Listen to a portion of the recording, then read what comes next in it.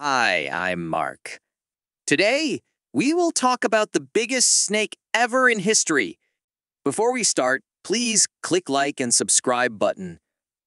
In the jungles of the South American continent, about 50 million years after the extinction of the dinosaurs, there lived a terrifying creature that sat at the top of the food pyramid of its time, and no other creature was escaped from its predatory jaws.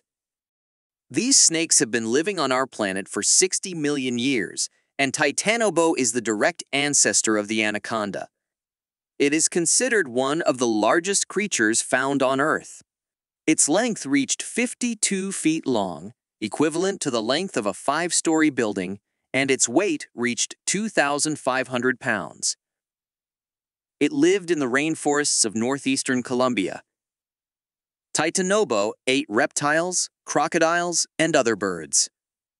An adult Titanoboa could easily overpower a 300-pound turtle. Titanoboa was the apex predator, not only of South America, but basically of the entire planet. Paleontologists have yet to find any animal that would dare prey on an adult Titanoboa.